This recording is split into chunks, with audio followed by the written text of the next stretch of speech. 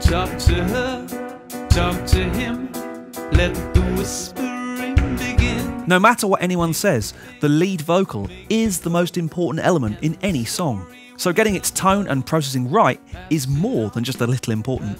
We're going to take this already well recorded and in tune vocal track to the next level with a combination of Antelope Audio Synergy Core native processing. We start with the Comp 4K bus to tame this powerful male vocal with the compressor section. Then we gate out any extraneous noise like breaths with the expander gate. We can also filter the signal so we're only processing the vocal bandwidth. How did the truth turn into myth? Gossip and lies flow from their lips. To shape the tone, I'm going to use the VEQ 4K Pink.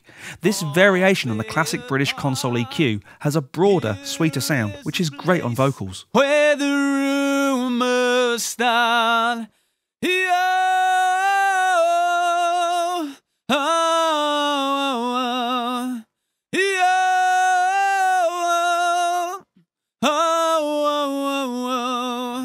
After passing through a super short delay to thicken the vocal tone and a chamber reverb, we're hitting a dirty delay via an aux bus.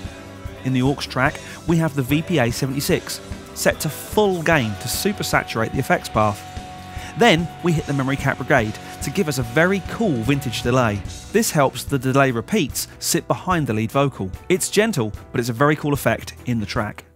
How did the truth turn into myth?